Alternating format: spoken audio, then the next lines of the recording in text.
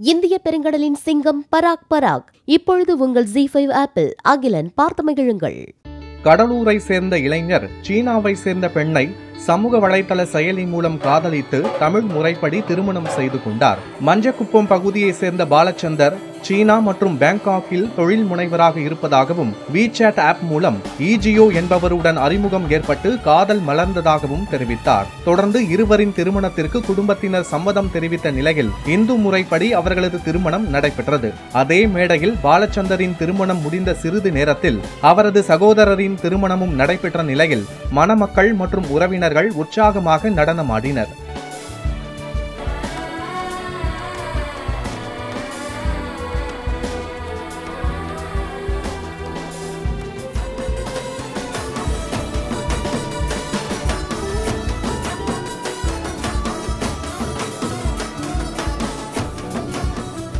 இந்திய பெருங்கடலின் சிங்கம் பராக் பராக். இப்பொழுது உங்கள் ஜி ஃபைவ் ஆப்பிள் அகிலன் பார்த்து மகிழுங்கள்.